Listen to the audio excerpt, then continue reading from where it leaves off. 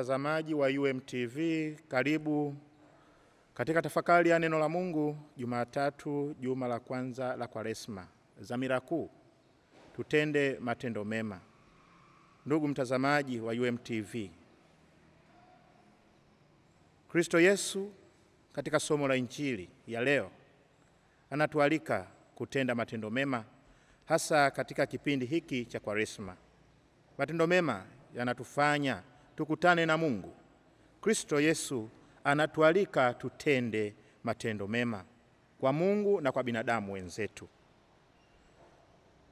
Ndugu mtazamaji, katika Injili ya Mathayo sura 25 aya 31 hadi 46, mwinjili Mathayo anasisitiza tutende matendo mema, yaani kutenda matendo ya huruma kwa wanaotuzunguka.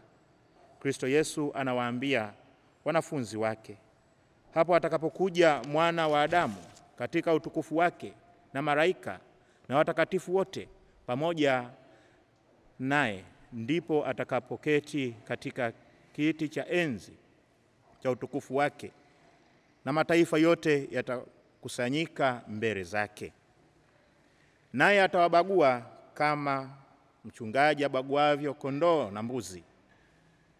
Ataweka kondoo mkono wake wa kuume na mbuzi mkono wake wa kushoto. Kisha mfalme atawaambia wale walio mkono wake wa kuume, njoni ninyi mliobarikiwa na Baba yangu, ulisini ufalme. Ndugu zangu wapendwa katika Kristo Yesu, hawa ndio wale waliotenda matendo mema ya kumpendeza Mungu na jirani. Kwa maana alikuwa na njaa, mkampa chakula; alikuwa na kiu, mkamnywesha; alikuwa mgeni, mkamkaribisha; alikuwa uchi, mkamvika; alikuwa mgonjwa, mkaja kumtazama; alikuwa kifungoni, mkamjia. Ndugu zangu, familia ya Mungu, tujiulize swali: je, haya yote matendo mema nimeyatenda katika familia yangu, katika jumuiya yangu, au katika kanisa, au katika wale wote ambao wananizunguka? Je, ninawahudumia wengine kwa upendo? Kama siwahudumii kwa upendo, nifanye nini na ni kwa nini? Tunahitaji kusikiliza sauti ya Mungu katika kipindi hiki cha Kwaresma, kufanya toba iliyo kamili, yaani uongofu wa ndani ya maisha ya mwanadamu. Je, ninafanyaje uongofu wa ndani wa maisha yangu kama Mkristo au wa maisha yako kama Mkristo? Njia pekee ni katika sakramenti ya kitubio ambapo mwanadamu hujipatanisha na Mungu. Mungu humsikiliza mwanadamu, naye humsamehe katika makosa yake.